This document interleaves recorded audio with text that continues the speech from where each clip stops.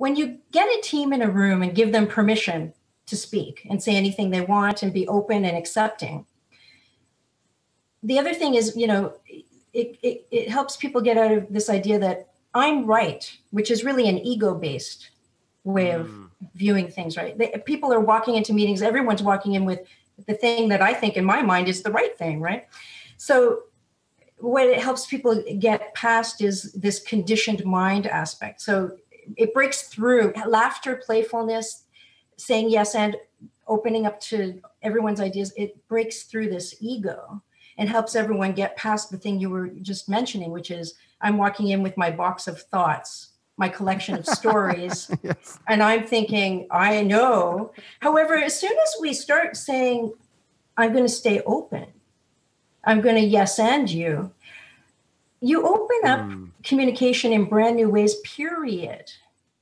So we're no longer walking around thinking we're right. We're walking around thinking, I have some ideas, I have things to add, and I'm staying open and that's we need that around the world universally yeah. for many things like we're uh, i mean i think of ego more as uh, a, a, good judgment like i want to jump over this ravine in front of me i need to judge how far to jump right right i want to you know it can even with people it's like i need to know if you're going to attack me and kill me or we're going to be friends. I need to judge and i need to figure something out here. Are you going to ban me from the tribe or whatever it is?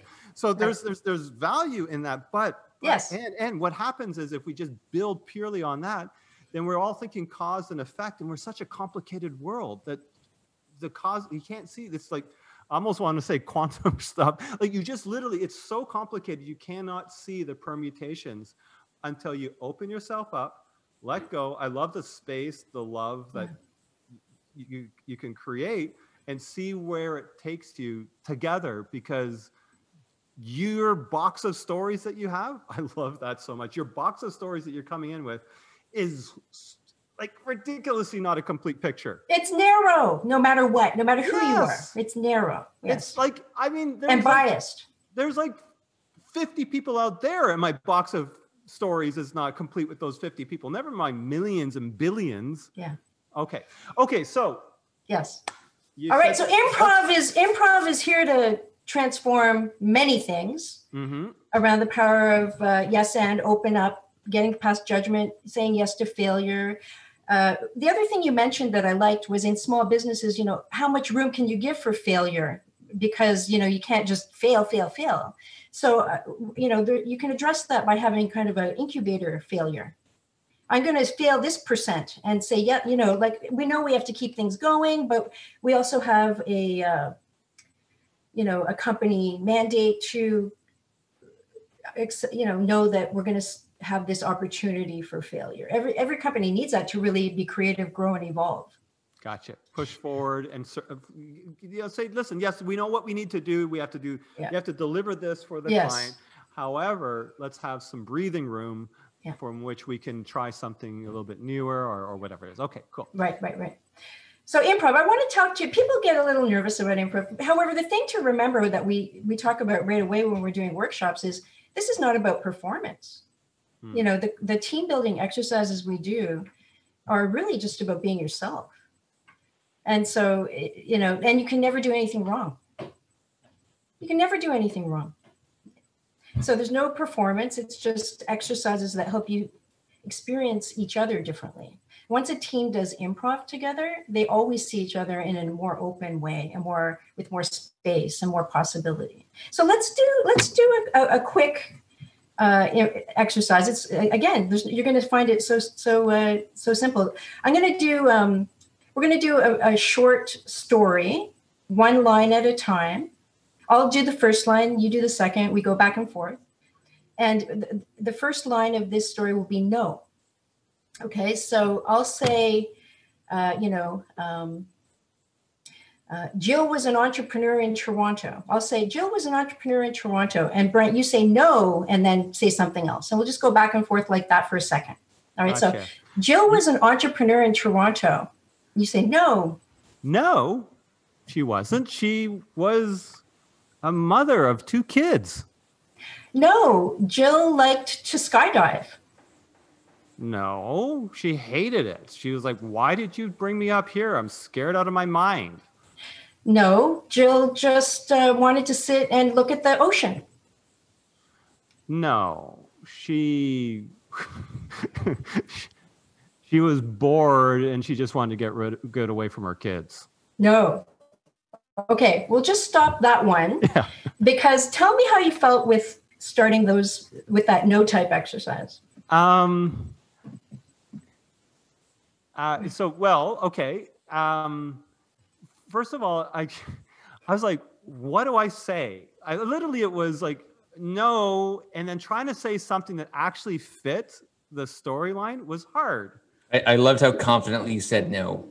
I was um, no, she like she, because you know you're sitting there. Well, you're more thinking, well, why, why? Like it wasn't even didn't even make sense. She's sitting there by Oh, the, the yeah. ocean, and it's like, no, she wasn't sitting by the ocean. She was just getting away from her kids. Like, yeah, she was still sitting by the ocean, even if she was getting away. So like, I can't make this make sense. Actually, Right. that's what went through my mind. I was like, I cannot figure out how. I was actually I was struggling to make this make sense. I love that so much. Okay, so when we do an exercise like this with no, we're showing what happens when we say no. There's no connection. Everything's fragmented. Nothing can work together. You don't even, it doesn't make sense, as you Yeah, I certainly was like, nah, not you're wrong. I'm trying to think you're wrong. All right, and it's all negative and low vibe, right? So here I'm going to do that exercise again, except we're going to say yes and. Okay. Okay, now are we All right. gonna go, are we gonna do three or just you and I back and forth? We can add, we can do three. Do you want to do it, Arthur? Yeah. I can jump in, but please excuse the hammering that's happening over there. Okay. It's part of uh, our world on on Zoom these days. Okay, so uh, we'll do it in order of Tracy, Brent, Arthur. And so I love. It's great that we're doing all three of us. I love that. So I'll I'll say the first line, and then Brent, you say yes and, and Arthur, you say yes and, and we'll just go around with just make sure you say yes and before everything you say. Uh, we'll do the same. We'll do the same story. I'll say, yeah. Um, Jill was an entrepreneur in Toronto. Yes, and she was also a mother of two kids. Yeah, and she loved skydiving. Yes, and Jill uh, had magic powers and flew through the sky at night. Yes, and that made it very difficult for her to skydive because she's like, I want to feel the thrill of jumping out of a plane, but I can fly. And she Yes, was an ar- architect. Yes, and she loved to do to look at the buildings as she flew at night and reimagine architectural structures. Yes, and she decided one day to go across the ocean to look at some really old architecture from the ancient Greeks. Yes, and sometimes she would take little tiny paintbrushes to paint on the Greeks. Yes, and her favorite colors were gold, silver, and red. Yes, and the Greeks were like, "Why are you painting me? This is really weird." Yes, and she likes philosophy. Yes, and Jill has got quite a great life. We can end there.